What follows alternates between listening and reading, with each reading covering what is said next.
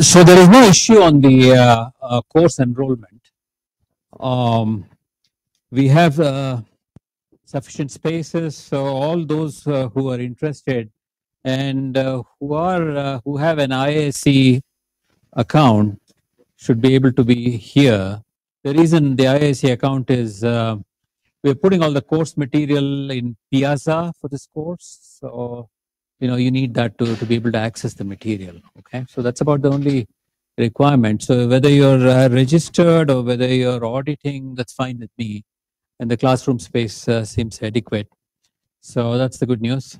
So uh, i want to talk about a little bit of the plan for uh, uh, the next uh, two weeks. Um, so as you know on the first week i mentioned we are following roughly the structure of the Goodfellow Bengio uh, book on deep learning. So the chapters come around like that, and uh, uh, but the material has been you know enhanced and expanded, and this requires more explanation and so on. So it's not exactly that material, but if you want to follow it, uh, it, uh, it is there for you to look at. Uh, and so first one was an overview. That's what we did last week and the, I believe the next chapter, I forget the exact chapter numbers, must be chapter two, is uh, linear algebra for machine learning, and chapter three is uh, probability theory for machine learning. Uh, you know, roughly that order, and then the next one is, I think, um, basics of machine learning, right? And some of you now are a mixed bag in the sense some of you have not had a machine learning course, and and half of you have had a machine learning course. But we're not wasting too much time. I think it's always worth uh, reviewing some of that material. So this week is uh, this topic uh, that is only today. Wednesday is there is no class. So it's just, uh, you know, I'll spend about half the time on linear algebra and half the time on probability theory. It might be repetitious to some of you, but uh, anyway, I found it interesting the way it's presented in terms of, ah, there are some interesting aspects of machine learning. So it's kind of stated as linear algebra, not just linear algebra, linear algebra for machine learning. Uh, and of course, we have in mind that what we are learning is deep learning. And uh, next week's topic again is uh, is uh, basics of machine learning next Monday and Wednesday. And we also um, uh, formalize, we mean, meaning me and the, the teaching assistants, uh, on the uh, nature of the quizzes.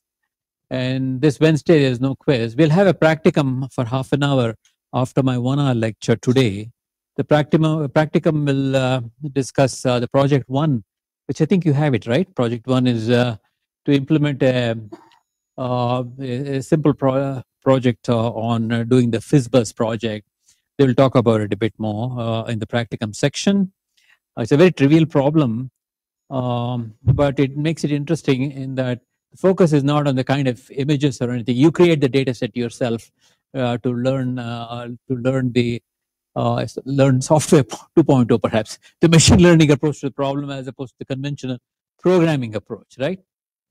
Right i think i mentioned in the first day of class that uh, um, computer science is moving from programming to showing.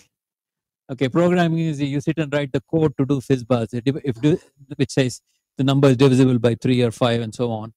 And uh, the uh, showing method is i give you some examples and say uh, what's the answer for uh, 15? You say buzz, right? Uh, uh or you know, it's fizz buzz actually.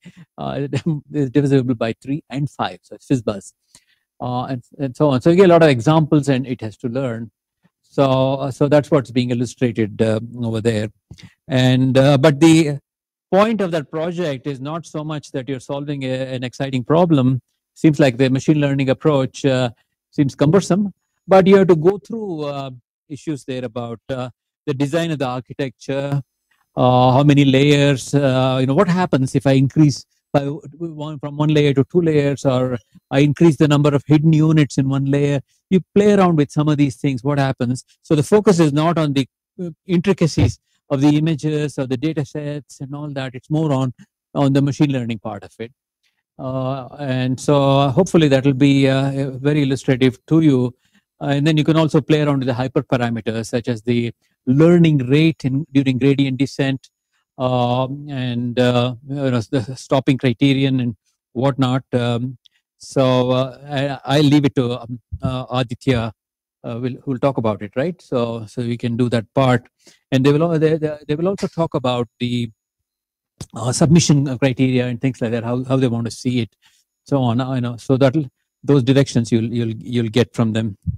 Okay, so that's uh, so that's the plan. So today half an hour you'll get on on on the practicum, and there's no quiz this week. Next week on Wednesdays, uh, they, so we're going to have a lag between the uh, topic and the quiz. I think most students like it. I was initially uh, planning on having the quiz in the same week the lecture was given on Wednesday, but now with Shankranti coming up on Wednesday, it's postponed by a week. Maybe it's, it's good for all of you, and we'll keep it like that. So, so you will be reviewing linear algebra and probability theory uh, this week and, the weekend and you know, until until next Wednesday and you will take a quiz for half an hour on uh, next week Wednesday on linear algebra and probability theory. And then from the week onwards, you'll be, be going into uh, other topics such as basics of machine learning. And then we go into some other topics. Uh, I forget the exact sequence now, but I think it's probably convolutional neural networks is the next thing, and um, so on. Recurrent neural networks, um, practical deep learning, and so on. So we'll we'll run through that and uh, we're budgeting the time very carefully. You only have so many weeks in the semester, and we really want to touch upon all the major topics and not spend too much time on the introductory material here. But we need this stuff uh, so that we are comfortable material that's coming up afterwards. So that's the uh, that's the plan for the rest of the semester, right? Does that, that does that address all of the issues? Okay.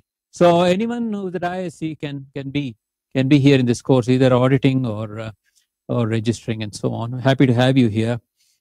Okay. All right. I came across this cartoon. All right. Uh, you know, these blogs are uh, uh, that you know many youngsters like you probably put up is uh, interesting. Importance of linear algebra in machine learning. So uh, this guy on this pile is saying uh, the, question is being asked, this is your machine learning system? And he's looking on, on a pile over here and he says, yep, you pour the data into the into this big pile of linear algebra, then collect the answers on the other side. So this is uh, you pour you pour your data. This pile of linear algebra. You know, there's so many uh, multiplications of matrices and all that that's happening over here. And this is a process, and you you input the data here, you collect the answers here. So I said that's what machine learning is. Uh, and uh, he says, what uh, if the answers are wrong? And the answer is uh, just stir the pile until they start looking right. All right. So you can think of machine learning is just stirring this pile of linear algebra. Uh, so what, what do you mean? St- uh, stirring the pile of linear algebra is, uh, I suppose, the weights, right? The, the kind of uh, uh, values you're multiplying multiplying it by and so on. So you keep on uh, doing it until you're satisfied. The answers are coming out. So anyway just a, a interesting cartoon about summarizing machine learning and, and that linear algebra plays a role in a lot of it. So um, what is it we need to do about uh, what do know about linear algebra for machine learning so the questions here are why do we need linear algebra? And uh, from scalars to tensors, you know, why do they call it tensor flow, for instance? Uh, and, uh, and that's the flow of tensors in machine learning. And um, you know, the other stuff is standard linear algebra, matrix operations, determinant, inverse, etc., eigenvalues, eigenvectors, singular value decomposition, principal component analysis. Wow, that's a lot of topics now. Um, and uh, in the olden days, uh, all of uh, the, uh, a course on machine learning or pattern recognition might have been just this, you know, SVD and and uh, you know PCA and so on. But we we now think of it as all right. That's just the linear algebra part of machine learning. I won't be able to go over all of this. So what I'm going to do here is just point out the major highlights, and uh, you will be reviewing all of this material. Make sure that you are comfortable with with with all of this. So that's what I have here if my explanations are not good enough, uh, of course, the source material is there and so much of it is available uh, online as well.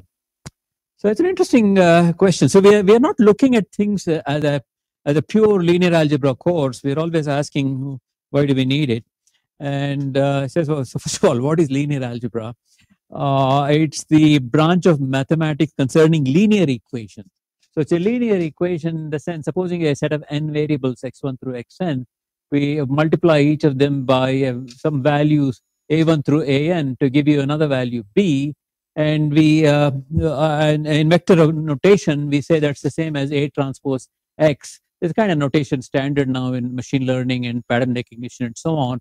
We use uh, bold symbols to represent vectors and scalars uh, uh, uh, as as italics, right? So called a linear transformation of x. And linear algebra is fundamental to geometry for defining objects such as lines, planes, rotations. So when we write an equation a1x1 through a1 an xn equal to b, actually it, it, turns out it defines a plane in uh, in x1 through xn space. So that a plane is is defined by uh, an equation uh, of this sort, and uh, in this in this three dimensional space, a plane uh, is uh, is represented by this equation, whereas straight lines on them define common solution to equations. So there is a geometric correspondence, something to be aware of.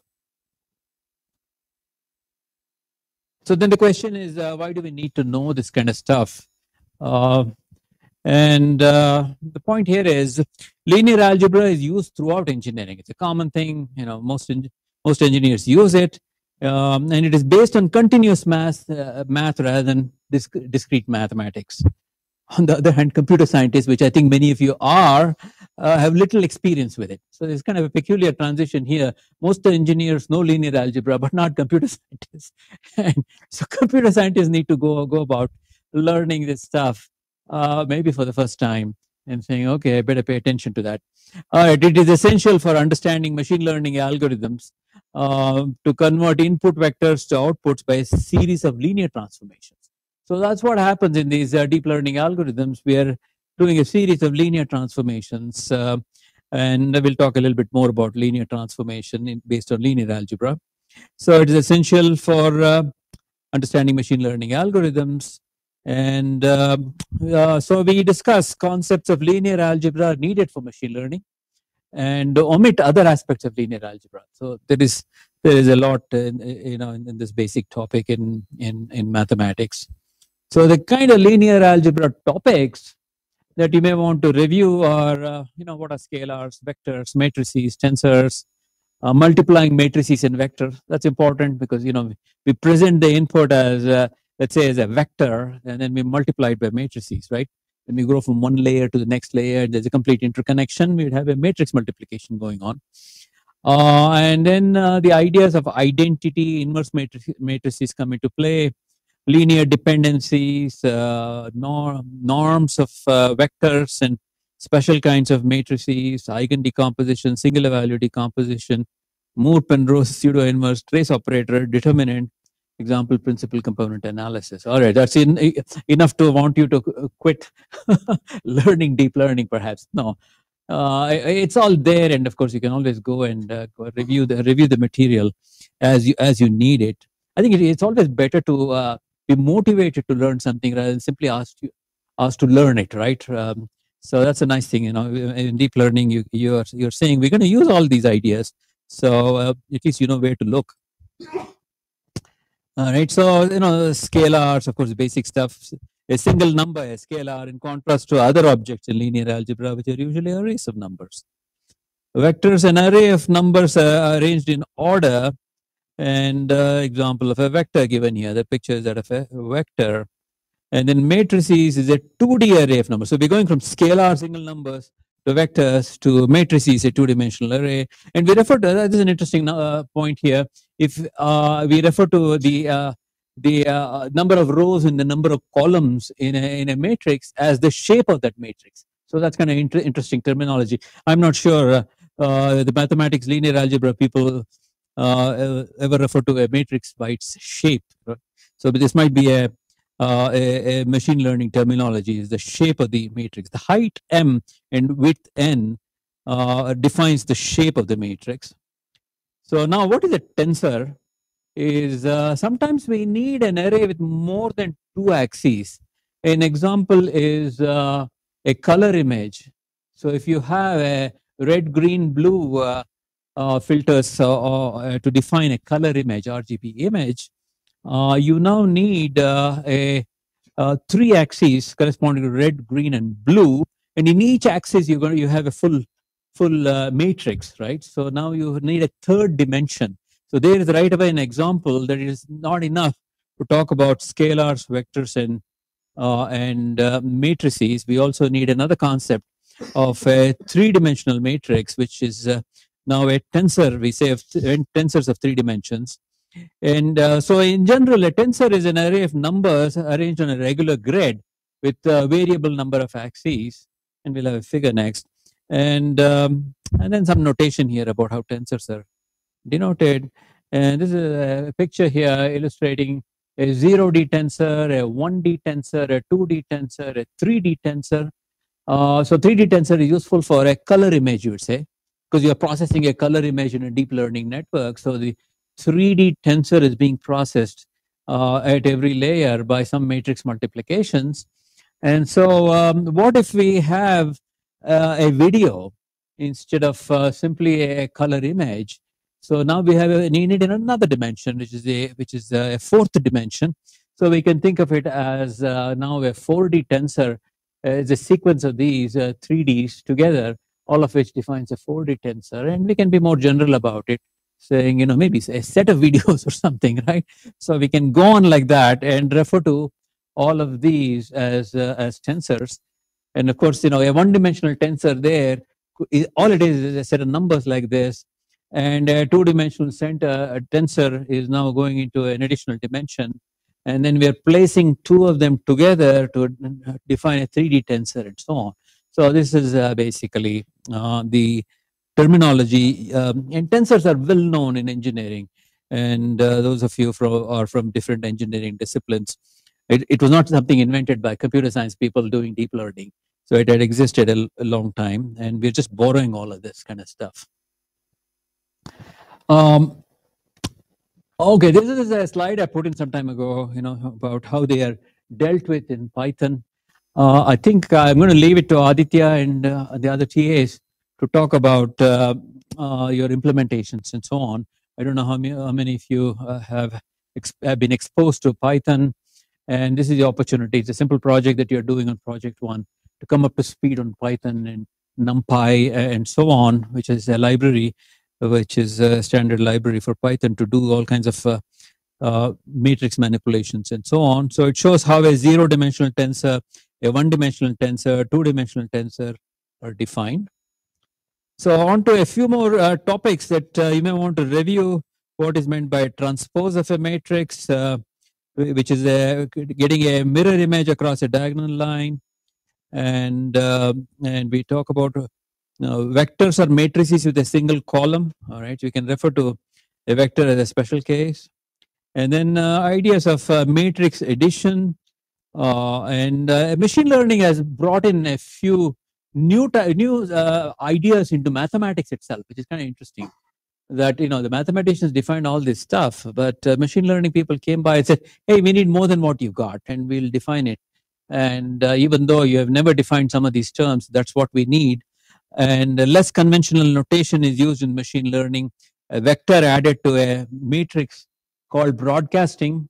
And uh, some of this terminology uh, may not be in mathematics. Actually, there's one terminology, it was very interesting.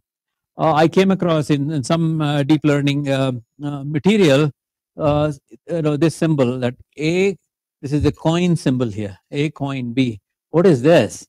And uh, I had a bit of a hard time Googling that. You know, supposing say I want to Google what is A coin B, uh, how do you define this?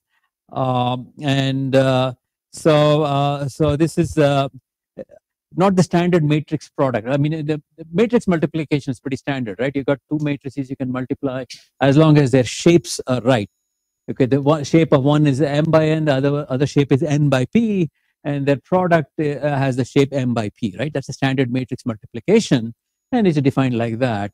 Um, but that the standard product of two matrices is not just the product of two individual elements. So if I give you two matrices, uh, you're not multiplying uh, element wise and such a procedure does exist and it's called the element wise product.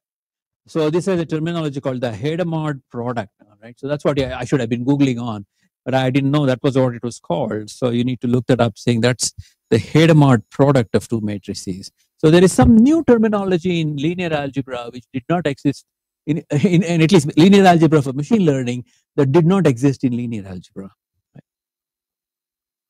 Actually, uh, this is what is happening. Computer science is redefining uh, several uh, basic mathematical fields, saying we we need we need this kind of uh, uh, approaches. Uh, probabilistic graphical models is an area that has a lots of examples. it's all about representing probability distributions. You know, haven't we known about probability distributions for a very long time? Yes, indeed. But some of the um, uh, notations uh, that we needed didn't exist. and so these all came about.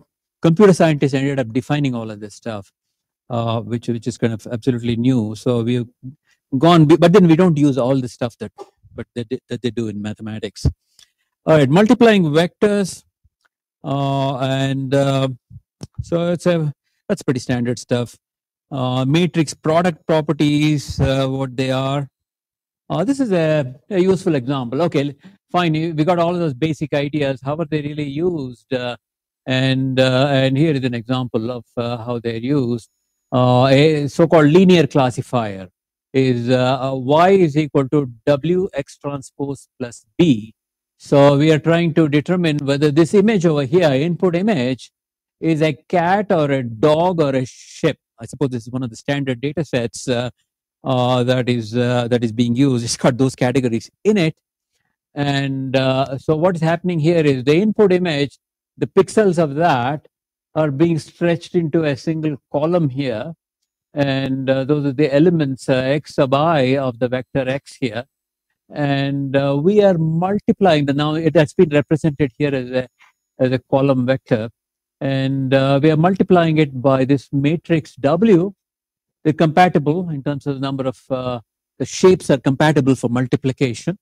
And uh, we uh, do W uh, transpose X plus another vector B, and we get some values which gives you a cat score and a dog score and a ship score. Hopefully, it is done right. Uh, it looks like cat score is negative and dog score is ship. You know, presumably a negative value is probably a good rather than a positive value. So uh, hopefully that that said it is that is a cat, right? It's got the highest score, and that's a linear classifier. So an example of tensors uh, in in so we are using here matrices, we are using vectors, and we and we get um, another vector here as output. So that is the a linear classifier. And then we have a linear classifier with bias eliminated. So it is possible to eliminate bias by uh, introducing uh, this whole multiplication we had out here is equivalent to another one where we have an additional element put in with value 1 over here. So this operation here is exactly the same as this, uh, but it eliminates the B term completely here. So it's an interesting basic trick in uh, machine learning uh, that we use. It's not quite a trick, so it's just basic algebra. And uh, so this is kind of how things work uh, at, at, at, a basic level. And then we, of course, expand on it further. And we talk about linear transformations, uh, and uh, and that is uh, uh, where okay, we, ax equal to b, and so you can also look at it more explicitly as n equations in n unknowns, and uh, we can view a as a linear transformation of vector x to b. So we say ax equal to b is a linear transformation linear because these are all of this form, a linear form in that it's uh, we are multiple. There's the equation to a line. That's where the word linear comes into play.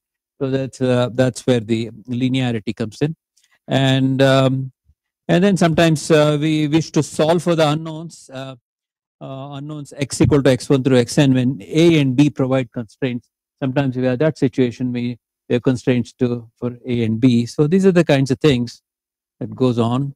And then there are definition of identity matrix and an inverse matrix. So um, uh, matrix inversion is a powerful tool. Uh, we don't use it that much, but they give you a very quick solution to a problem saying, what is the solution uh, in, in those kinds of uh, matrix uh, manipulations we saw earlier on? Why can't you just take a uh, inverse and that immediately provides you a solution? And it requires the, an identity matrix, which might unfortunately be singular and so on. So the matrix inverse, the inverse of a square matrix, A defined as A inverse A equal to I, and we can uh, solve ax equal to b as follows. Let's say we have a and b, and then uh, we want to solve for the value of x. So it says that is nothing but x is equal to a inverse of b. And uh, I'm not saying it's just exactly that the problem we saw earlier on with the cat, but these are the kinds of other operations that we need. So you may want to review all of this. So solving simultaneous equation is another one. Um, system of equation linear regression. In basic machine learning, we typically start with studying what is linear regression, uh, which is uh, given, uh, let's say, a, a, vector as input, we want to predict a value, a scalar as output. Uh, the scalar typically is another real value in regression. In classification, vector as input, we want um, we want the values for a set of uh, labels and uh, that's what we saw in the cat example. Linear regression would say simply give me a value, continuous value, and uh, that's linear regression. So, um, uh, so instead of ax equal to b uh, form, uh, so the, the, the, kind of equations we saw occurs in linear regression. Um, we would have uh, a phi is the is the is, is the design matrix. Oh, that's another terminology uh, what kind of matrices occur in, in machine learning? A design matrix is a common one. A design matrix uh, has rows and columns corresponding to your data set. In the sense, uh, the rows uh, uh, the rows uh, may correspond to the to the samples, and the columns correspond to the features. The standard pattern recognition terminology. So I have a data set consists of n samples, and each sample has d features. That's an n by d matrix. All right. I mean, of course, you got to organize it properly. So m by n design matrix, and uh, so that is a design matrix, and uh, and we could say, well, uh, I have your da data set, which is your n uh, m, your data set of uh, all the samples, and uh, tell me what should be the w that will convert it to um, to t. What is t? T is the target values for the sample T1 through Tn. So I have uh, the design matrix for every one of the samples that I have for corresponding to the rows. I have a value for uh, what is the target uh, value for that. And this is a problem of linear regression here. So that should be the output. And so this becomes a question of uh, we need to be so that uh, task is we need to uh, determine the weight W to be used with m features to determine the output. And uh, we can write it like this also. Uh, x is the input, w is a set of weights that, that we, we would like to use so that the output y, uh, which can be also written like this. So we want to determine what is the value of output y. So this is the form ax equal to b occurs in linear regression in machine learning. So why should we learn ax equal to b is uh, this is one way to formulate linear regression problem refer to this as uh, closed form solutions. So if I want to do linear regression, I just organize it as a design matrix and I know the target values. And this says all you have to do is invert your matrix. There it is. You know what is the machine learning problem here, right? Um, and uh, how do you how do you solve the problem? X is equal to A inverse B. It says well there are you there's a closed form solutions to the problem is uh, a matrix inversion. Invert the matrix if you can. That's it. And uh, the problem is again the, the inverse may not exist and so on. So there are practical issues, uh, maybe too large and so on. A is a huge matrix. A is a design uh, matrix here. All right, so that's a huge matrix. Uh, then of course there's a standard method called Gaussian elimination and so on. All right, so um this is something about uh, how these things, you know, Gaussian elimination. I'm not, I'm not going to teach Gaussian elimination. We don't use it that often, but uh, there's a very classic closed form solution. You might want to look at it saying, okay, why don't we use it? Disadvantage of closed form solutions. If A inverse exists, um, the same A inverse can be used for any given B, uh, and uh, but uh, A inverse cannot be represented with sufficient precision. Hmm. It is not used in practice. And uh, Gaussian elimination also has disadvantages, numerical instability, division by small number, order n cubed for an n by n matrix. Uh, software solutions use value of b in finding x, so on. So there are all kinds of issues there. Issues of how many solutions for uh, ax equal to b exist and so on. And um, anyway, it goes on to definitions. So you may want to look at these things. Um, conditions for solution. And um, here is an example of, uh, is a good example for students to look at, right? When you're taking a course. Use of a vector in regression. A design matrix has n samples, d features. And then what are the, uh, so there's student number one, student number two, student number three. And uh, for each student, uh, there are three features. Number of hours studied, number of hours playing games, and number of classes missed, right? So those are the features. And the uh, target vector is the grade they got in the course, 87, 75, or 63. And uh, for instance, the student who uh, who studied 10 hours and played three hours played games and missed zero classes and got the highest score. And the student who uh, studied only five hours one hour playing games missed a lot of classes got only 63 all right. There's a subtle message to the students um, right? Okay. So it's a regression problem. So we would say well i studied this many hours i studied eight hours uh, I was playing games for uh, you know two hours, and then I missed half the classes. What grade am I going to get? Right. So this is saying. Uh, so it, it, we are able to predict that because we would have, we figured out uh, the the uh, matrix that we need to multiply the student's feature vector by uh, to give you the value in the form a x equal to b. Right. X is this vector of three values. a is the is the matrix that is learned from these. How did we learn it? Well, we learned it by using matrix uh, inversion or Gaussian elimination, and we got this, right? So this is a regression problem, right? So there's a closed form solution to the problem. Right away, we can do that. So there are problems with these closed form solutions, and so we move on to uh, machine learning approaches to that. Ah, I guess they don't. We don't do that here, but uh, when you when you study regression, uh, we say so the closed form solutions have a problem uh, so what is the machine learning solution to the problem?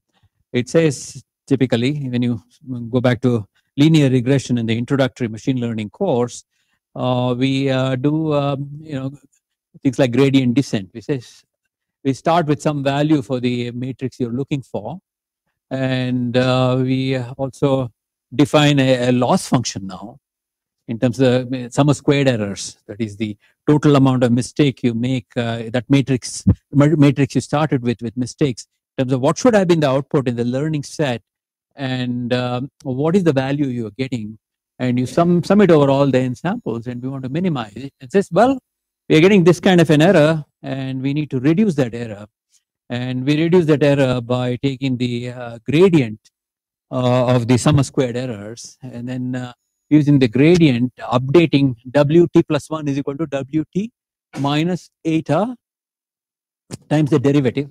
Sum of squared error, the derivative has a simple form. And so we iterate until uh, we, we approach a, a, minimum and then we could also use a, use a validation set or something to see where to stop and so on, right? That would be the machine learning solution. But we want to know that you don't necessarily have to take the machine learning solution because it can, it does have a closed form solution in a simple type of setting. But we go on to to uh, to more sophisticated uh, methods uh, as we need it. All right, what is this about? Norms is a pretty standard thing, measuring the size of a vector. Uh, you know, norms map vectors to non-negative values, and um, and what's the definition? The couple of couple of uh, triangle inequality and so on. Things like LP norm, and um, and uh, norms occur uh, in even the linear regression problem. Okay, so X is a vector. By the way, I'm putting up putting all these slides. They're all on the public side, of course. Uh, but as I uh, finish this, I'm trying to put them on the Piazza site also, so you know which ones I, I used uh, in this version of the course I taught. So there are two places you can refer to. I don't think I put it out there yet. I'm having a little problem with all the fonts. Maybe one of you know, I actually I had originally in my slides uh, in PowerPoint, uh, I used Euclid. Euclid has a nice, beautiful mathematical symbol. And um, when I went to a new version of uh, PowerPoint, it uh, it doesn't have Euclid, surprisingly. Anyone experience not having Euclid font on your PowerPoint? Anyway, if you can look at it, let me know. I don't know why. Uh, the latest version of Microsoft PowerPoint does not offer Euclid font. And Euclid is the most beautiful mathematical symbol font. Of course, some of you may say, look, I don't use PowerPoint for equations. I always use uh, LaTeX or Overleaf or something like that. I know, I know that there you can control it better, but but I'm having, having this problem. So it's all showing up in a funny way that X uh, is supposed to be Euclid, nice mathematical symbol. It looks like it's in the Arial symbol and so on. So I'm kind of a, you know, I love the fonts, uh, different kinds of shapes, what they mean and that kind of thing. So I have to figure out what to do. How does one download Euclid, you know? The closest thing to Euclid is uh, Times Roman. Times Roman comes out reasonably for uh, for math, but not as nice, right? LaTeX, of course, you can completely control what font you want, but you have to struggle through the font definitions. Anyway, that's just an aside because they look funny here. They don't look like the previous uh, fonts we were using. So we have, but still, at least it's bold. X is a vector and W is a weight vector. And we have, we just saw the Y could be a linear transformation of W transpose X. Uh, and we may have, in linear regression, we kind of uh, don't quite use uh, X's, we use a nonlinear basis functions phi j. And uh, so the samples uh, become the y is the output for a given x and a set of weights is w naught the bias here. And then uh, this is the form that it takes. Uh, so if, you're trying to solve a linear regression problem using the machine learning approach, we say, well, what are we trying to minimize? So we have to define a loss function. So what we're trying to do is we have set up points. We want to get the equation that best represents it. And um, so it could be like a straight line or it could be a sinusoid and the loss function we are defining here is the sum of squared errors. And the sum of squared errors is, of course, this part. Y of x comma w tn is the n sample, and we're taking the square of that. And we put a half here because we're going to be differentiating it. And, and we have a square over here, and we take the derivative of that 2, and this 2 will cancel off. Uh, but we also add this additional term to that. It's called the norm penalty right? Norm penalty is a, is a very standard thing we do in machine learning. Linear regression, we put a norm penalty rather than simply try to minimize the sum of squared errors. We say not only do that, but also make this W, the weight vector you're going to get, have as small a length as possible. So it's kind of introducing a prior into the problem. This is kind of a crux of uh, what is deep learning is uh, we bring in priors, which is some prior knowledge we have. It's not like a Bayesian prior. Right? That's enough specifically probabilistically defined. So these are some prior knowledge we, we bring into it uh, to solve the problem. And why do we bring this one in? Why do we have, why do we need to bring this? Is this is uh, the importance is controlled by lambda. Lambda is very small. Uh, the uh, this norm penalty doesn't matter the lambda is very high, that norm penalty uh, becomes important.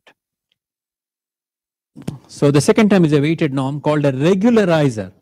Ah, the answer is given here to prevent overfitting.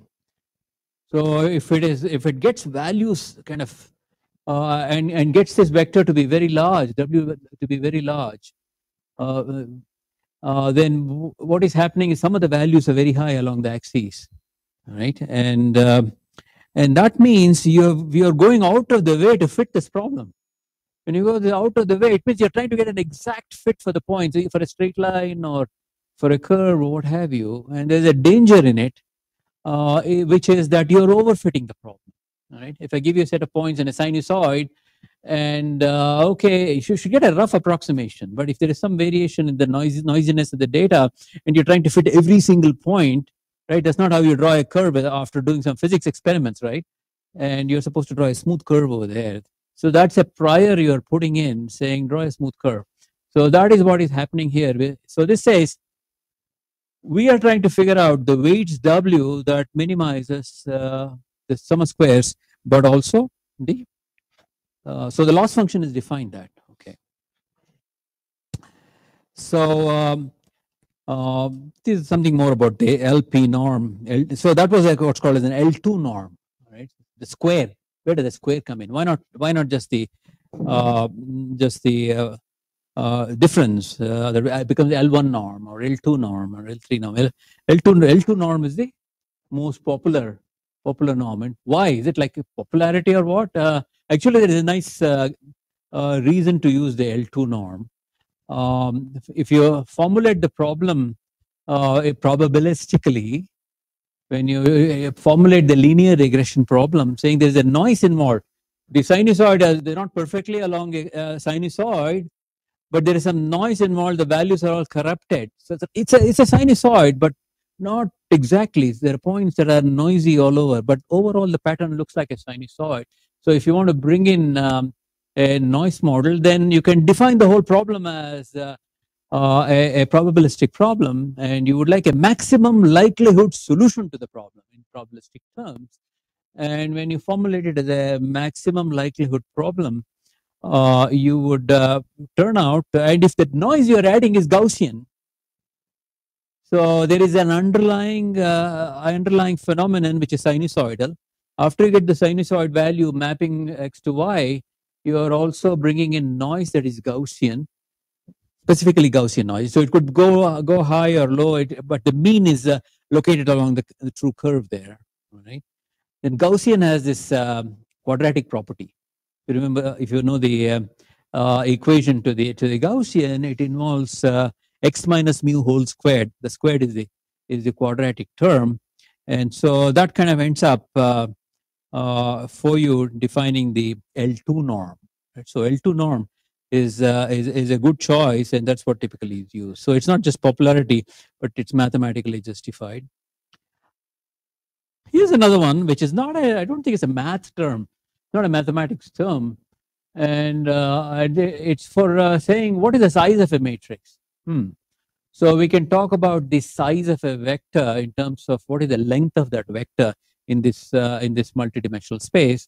Similar to L2 norm, we can also define uh, uh, the size of a matrix, and that is the terminology. Occasionally in deep learning, you come across this this this expression, Frobenius, uh, and Frobenius norm uh, so layers of neural network involve matrix multiplication and uh, regularization is to minimize the Frobenius of weight matrix over WI layers. That's interesting. So this is saying that um, your your goal is to take the take the criterion J. This is a regularized J. JR is equal to J, and we're saying uh, instead of sum of squared errors, sum of squares of the weight vector, we're saying uh, minimize this quantity and this is the sum of all the uh, weight matrices and layers of a neural network involve ma matrix multiplication this, this is what we need to we need to minimize that's an interesting concept that we can formulate the problem like that mathematically not necessarily always simply as uh, as gradient descent you can look at it like this it's minimizing the Frobenius norm. So if you haven't come across the Frobenius norm, which is not a very common ter uh, terminology in linear algebra, this is where it comes from. So there are a few terms here uh, missing in standard linear algebra, such as Hadamard multiplication and uh, Frobenius norm and so on. Angle between vectors is, is quite well known. If I give you two vectors, the angle between the two is given by the cosine uh, distance between the two. There's a similarity between two vectors is uh, uh, measured by the cosine uh, of the angle between them, which is uh, written like this. And the nice thing about cosine is that it's a value between uh, 0 and 1, right? right? Cosine is between 0 and 1.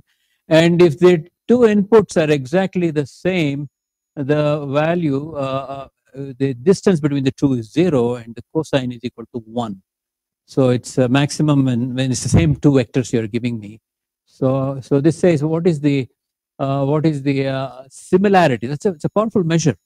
I give you two vectors and ask you how similar are these two vectors. I give you two images and say here is the cat image and here is another cat image, and uh, how similar are these two cats? Uh, if it is exactly the same, you could use the uh, cosine cosine angle, right? If, if they're off by one pixel, you're going to have a problem. But exactly the same, then the similarity. So cosine will give you give you that. So you may want to be familiar with that part of it. Diagonal matrices, okay. Okay, this is uh, useful when you're dealing with uh, covariance matrices. Uh, and uh, in oh, okay, we're almost out of time here. Uh, I didn't even get to probability theory, but let me just mention it. I'm going to leave the probability theory for you all to look at. I think you've had probability theory before. There is not that many new things other than saying there is the Bernoulli binomial distribution. You may want to review those kinds of things. Uh, and um, what else do you have? Gaussian distribution, very standard stuff.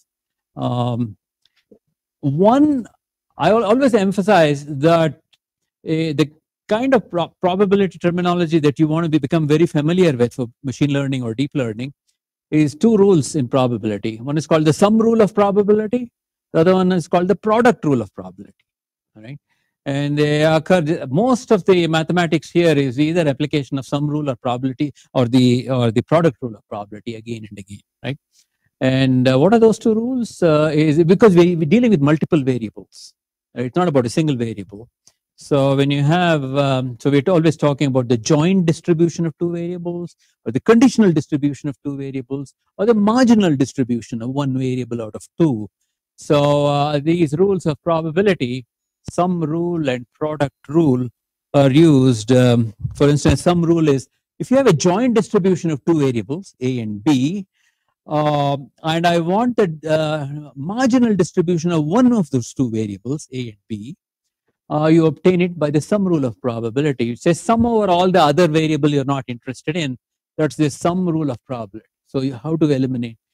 You know, typically you have a joint distribution of multiple variables. We want to know uh, one of those variables. And that's the sum rule. And product rule is uh, of the form uh, the joint probability of two variables is given by the product of the marginal of one of them and the conditional of the other given this one, right? So that's called the, um, so you need to review uh, and remember that that is those two occur in all these equations. Uh, and also there is this idea of covariance matrices, how de dependent two variables are.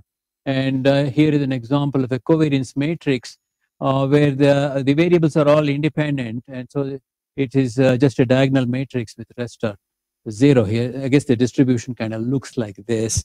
And you may also want to review when you do the probability theory part, uh, study the part about uh, independence uh, and uh, and uh, and correlation. All right, independence and correlation. Uh, independence is a much stronger requirement. All right, than than correlation. So so there are some examples over there in terms of um, uh, how uh, two variables uh, may have a, a, correlation of zero but still not be independent. Hmm. So the uh, correlation is zero, but they're still not uh, independent. Right? Independent is a very strong, strong requirement. So you may want to study what is meant by independence and what is meant by correlation. And we're dealing with so those are all useful concepts to be aware of. Covering the other set of slides, it just occurred that this was this had a little bit of probability in it, so I kind of threw that in. That's the entire set of right efficiency. Okay, all this uh, standard stuff symmetric matrix, orthogonal decomposition, eigenvector.